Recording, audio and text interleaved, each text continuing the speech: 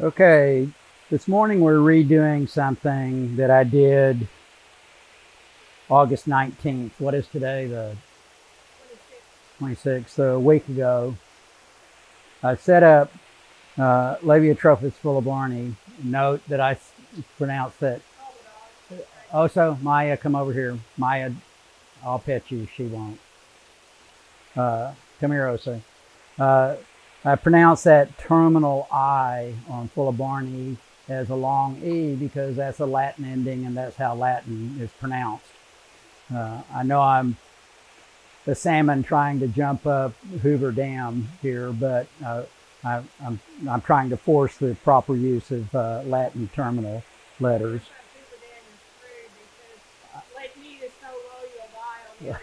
okay. Susie's pointing out that Lake Mead is so low right now that even if I got over the dam, I'd probably die on the other side uh, if I were a, a salmon. And of course, salmon don't jump up uh, the Colorado River anyway. They're uh, they're cold water fish. Okay. Anyway, we I set up two males and seven females. The only seven uh, Barney gold females that we had in this vat. Have two males, one that's lavender and one of them that I was toying with setting up separately anyway because uh, he's uh, got some really nice orange freckling. Uh, but I've noticed while I'm doing feedings that he's hanging out at the top, meaning the other male is feeding up on him. So I'm going to move them out of this 110 gallon vat they're in uh, to split them into two breeding colonies, uh, two small breeding colonies, but that's all the females we have right now. The winter storm was really, really rough on that, this particular fish. And if you look at, uh, you come a little closer. If you look at it, the way this is set up, Oso, come out of the way. Uh, this is a, what we call a fry cage, and in it, we've got a couple of cichlid hotels that we make.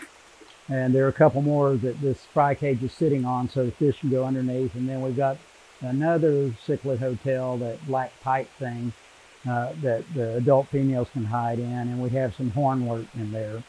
So anyway, I'm going to break this down, take the fish over to, this is in greenhouse two, take the fish over to greenhouse one. I have two 55s that I'm setting up for, uh, for breeding. We'll go look at those and I'll break this vat down and we'll show you the fish again. Be back in just a bit. Okay, we're in greenhouse one.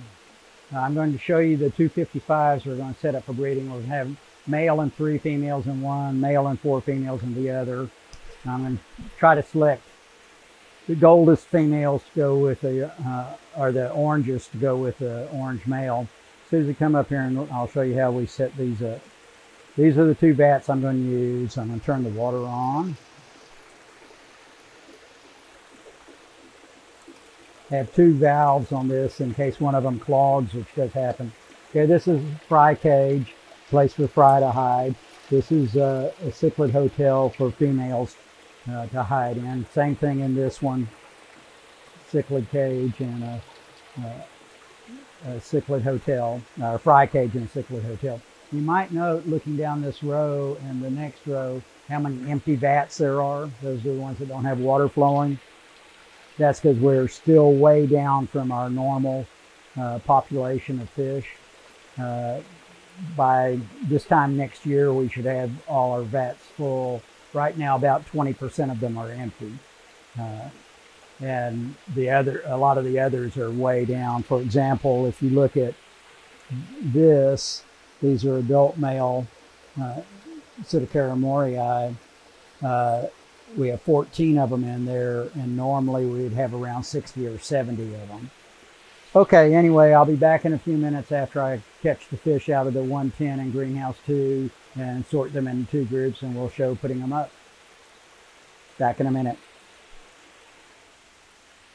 Well, as often happens when we're doing things, even though I had things planned out ahead of time, the fish change my mind or circumstances change my mind. When I pulled the eight breeders out of uh, the 110, there were a bunch of fry.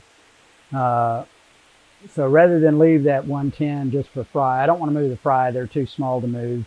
Uh, at least one of the seven females was carrying uh, eggs uh, a week ago, and or by that time probably carrying fry, and release them. So I'm going to put the uh, lavender male and probably four females back into that 110. And I'm going to put the orange freckled male and three females in the 55. Uh, let's take a look at the two males first, and then we'll sort the females. Okay, colors don't always show up on video. I noticed that on our uh, blue marmalade uh, the other day, full of Barneys that, that didn't. This is the lavender male. And this is the orange freckled male, which by the way, the orange freckled male was the one hiding. Even though the lavender male is smaller, he's apparently more aggressive. It's always risky to just have two males in a, in a vat. Uh, it's better to have more than, than that. I usually go with three, but not in a 110 gallon vat and the 300 gallon vats. Okay, well, right now we're going to sort these seven females. By the way, here's something annoying.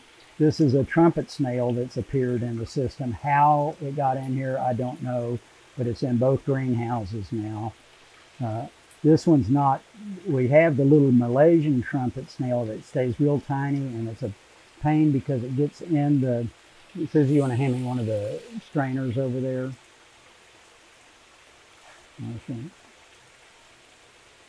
This is a strainer we put on the bats to stop little fish from going through. And you see uh, those dead snails. Those are little trumpet, Malaysian trumpet snails. And uh, when things clog up, I just stick my finger in and rub it around, and those end up slicing your finger open. Okay, and drop that back. This one's a bigger trumpet snail. It gets about an inch long, uh, but I have no idea where it came from.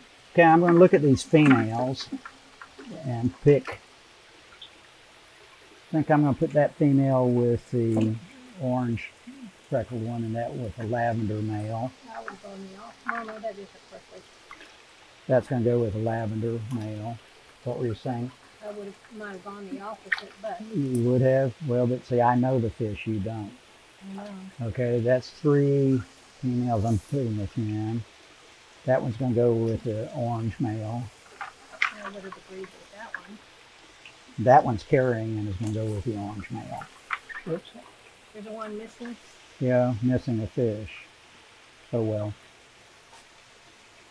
She may still be in the 110. I was going to put four males back in there, uh, four females back in there anyway, so I'm not going to bother with it. Okay. No, that's right. We had six females and two males, uh, so I got everybody. Uh, okay, so we have these three. Let's take a look at these. Uh, a female here. This one, I think, see, she's kind of orangish. I'm going to put her in with the orange male. Oops. By the way, she's carrying. You notice she didn't spit her eggs? Uh, and that's because after generations in our system, fish that spit their eggs don't leave as many offspring because they miss a, a breeding cycle. So we, uh, uh, our system selects for females that are really good about carrying. Okay, this is a young female that I'm going to put in with a lavender male. So that lavender male and this female are going to go back into the 110 because I pretty much suspect that the offspring in, in that vat belong to the lavender male since he's the dominant one. And then this orange male is going to go in with three females in a 55. And I showed you all those later, or earlier rather. So that's male and has three female oranges, and this is lavender. The gold Barney, um, the I like the lavender males. You can select for gold males, but I think that's a, a pleasant uh, contrast having a lavender male and a gold female. And the three females I picked, despite Susie disagreeing with me on one of them, are females that are going to throw good lavender males. If you look carefully at their coloration, they've got a little bit of lavender in them. Uh, they'll throw good, nice gold females, but uh, lavender males.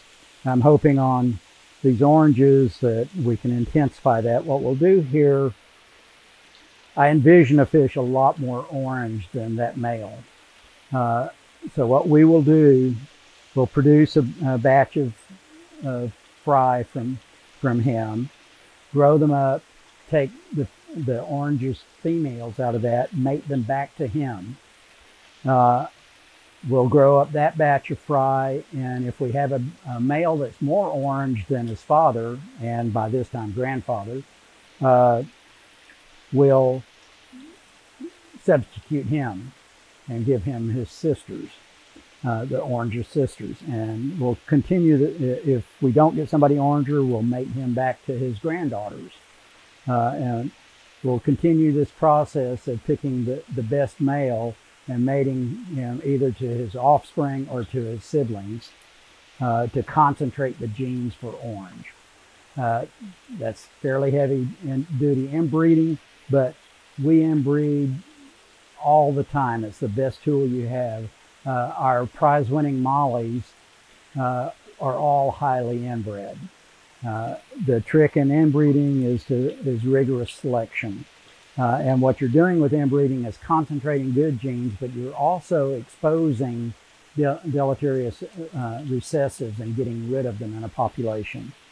Uh, did that with our Xenotoca eiseni. We got it, we started with a half dozen fish. That's a live bearer from Central Plateau of Mexico. We started with a half dozen fish. and the first generation, we had about 10% of them with crooked spines.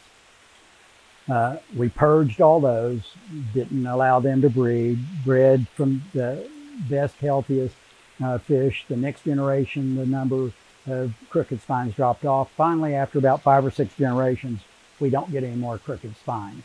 Uh, and that's because we kept removing those genes from the population.